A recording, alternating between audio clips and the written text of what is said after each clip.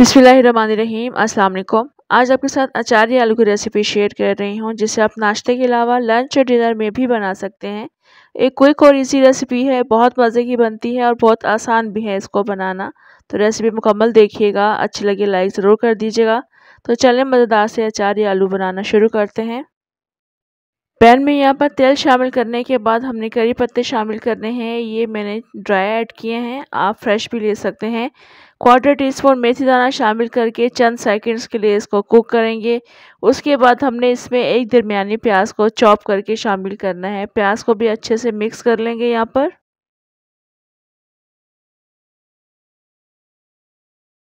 अब इसमें half tea spoon साबुत ज़रा शामिल करेंगे, अच्छे से मिक्स करेंगे। प्याज को हमने तब तक पकाना है, जब तक इसके किनारे हल्के से सुनहरे होने ना शुरू हो जाएँ।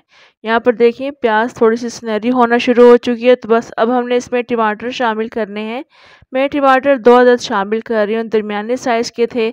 अच्छे से इसको मिक्स कर लेंगे, उसके बाद हम तमाम मसाले भी साथ ही शामिल कर देंगे।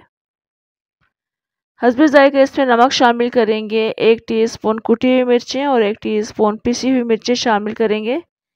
क्वार्टर टी स्पून हल्दी शामिल कर देंगे। एक टीस्पून इसमें कुटा हुआ धनिया शामिल करेंगे। हाफ़ टी स्पून कलौजी शामिल करेंगे। एक टीस्पून सौंफ शामिल करेंगे। आप यहाँ पर सौंफ का पाउडर भी शामिल कर सकते हैं। एक टीस्पून लहसुन का पेस्ट शामिल करके अच्छे से मिक्स करेंगे और थोड़ा सा पानी मैं इसमें डाल दूँगी ताकि ये मसाले जले नहीं।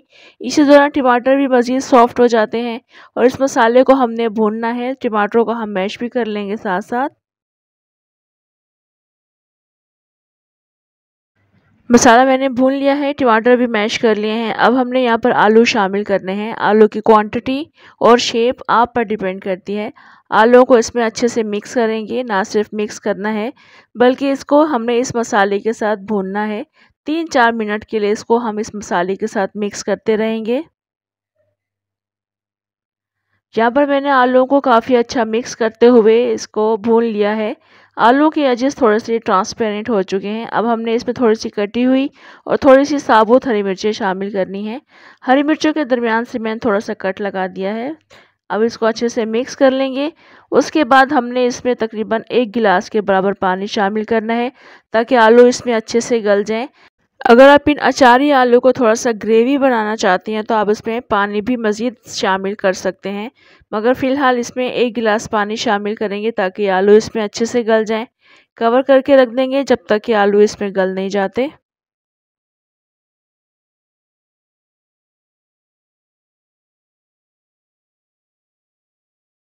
इस वक्त आलू मुकम्मल गल चुके हैं, आप ग्रेवी देख सकते हैं, इसमें बिल्कुल परफेक्ट है। अगर आप थोड़ी सी मज़ीद इसमें ग्रेवी बढ़ाना चाहते हैं तो पानी आप अपने हिसाब से शामिल कर सकते हैं। बस बिल्कुल लास्ट में हमने यहाँ पर हरा धनिया शामिल करना है। वो शामिल करने के बाद अच्छे से इसको मिक्स करेंगे, उसके बाद डिश आउट करेंगे। यहाँ आप इसकी फाइनल लुक देख सकते हैं, माशाल्लाह। देखने में बहुत खूबसूरत लग रहे हैं, मगर यकीन जाने, बहुत लजीज बनकर तैयार होते हैं। आसान सी, मज़े की रेसिपी है, जिसे आप नाश्ते के अलावा लंच और डिनर के लिए भी बना सकते हैं। एक क्विक रेसिपी है, ज़रूर बनाकर देखिएगा, इंशाल्लाह आपको बहुत पसंद आएगी। पूरी पराठे के साथ भी ये बहुत अच्छे लगते हैं। तो ट्राई ज़रूर कीजिएगा कॉमेंट लाइक और शेयर भी ज़रूर कीजिएगा। मुझे दें इजाज़त इन दोबारा आऊँगी अच्छी सी रेसिपी के साथ। अल्लाह हाफिज़।